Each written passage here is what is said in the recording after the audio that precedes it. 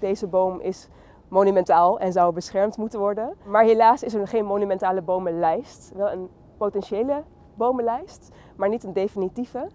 En uh, ja, dat zou wel eens heel naar voor deze boom kunnen aflopen. Zowel GroenLinks als D66 vinden dat het college haast moet maken met de monumentale bomenlijst. Deze lijst biedt juridische bescherming voor verschillende bomen in Schiedam. Nadat er in 2011 een toezegging werd gedaan, laat de lijst nu al bijna 12 jaar op zich wachten.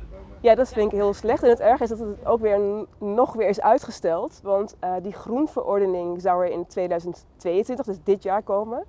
En er werd, wij hebben nagevraagd uh, en, en hij komt er dus niet dit jaar, hij komt er pas volgend jaar. Het college is op dit moment druk bezig met een groene kaart.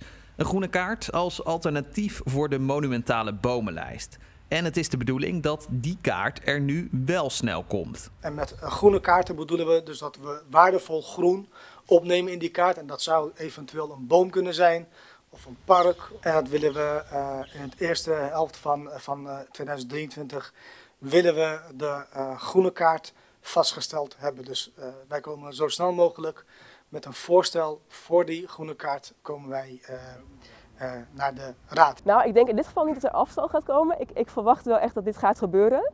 Er uh, is ook al vaak gezegd van nou, wat gaan wij nou doen dit collegejaar? en dan werd heel vaak aan de orde gesteld dat eigenlijk nu heel veel plannen die vorige collegeperiode al gemaakt zijn, dat we die nu echt gaan uitvoeren.